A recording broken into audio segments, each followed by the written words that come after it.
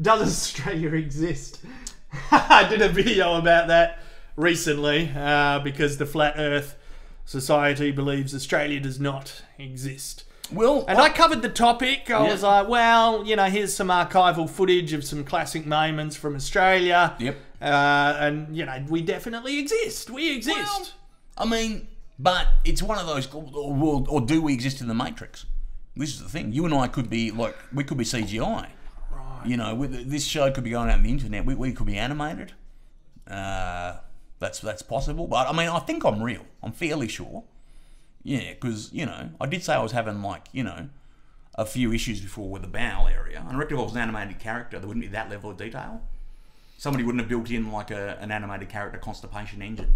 That you, that's no one's got the budget for that sort of thing. Yeah, exactly. It is those Yeah. little details and those Yeah. nuances in life where Where it's you could like, be fairly, you could be fairly sure. I think I exist. So if I was to, yeah, so that hurt. That hurt quite a bit. Right. Yeah. I'm sure you exist. Yeah, no, I'm fairly sure. Yeah. Yeah, I feel comfortable. And if, and I, you know, and I feel comfortable that generally Australia, because a lot of, because if if the whole of Australia was being Truman showed, right. if you and I were just in like a show, Yep. and the whole of Australia was just Truman Show, that's a lot of work for a lot of years. That is a lot of work, and that means a lot of people are not getting their fuck all time. Exactly. Uh, just to round it back to, you know, protecting your time to do fuck all, which we discussed earlier. Yeah, That's a lot of work, yeah, to keep up a construction, a simulation or something. Um, and have a puppeteer behind it like fucking Ed Harris. Ed Harris, yeah.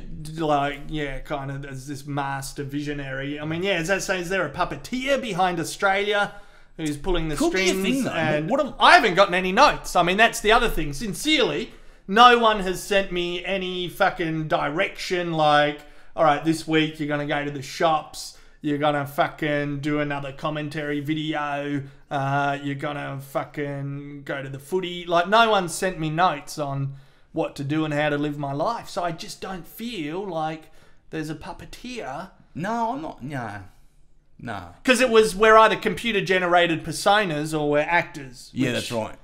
Yeah, But we we kind of be talking un- about the Matrix would be the computer generated That's right. side. That's one scenario. And actors would be like Truman Show. That's right.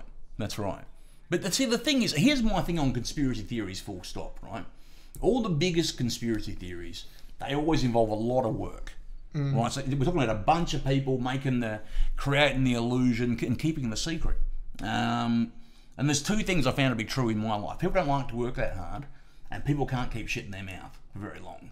Um, so you know, I, I, I think the work that would have to go in, and the amount of people that have to keep their mouth shut, too many. Yeah.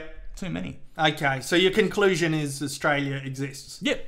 That was my conclusion too. Yep, definitely. Fucking high five. Yep, bang. Good, good. Uh, hashtag Ask Mozza. One more question. Uh,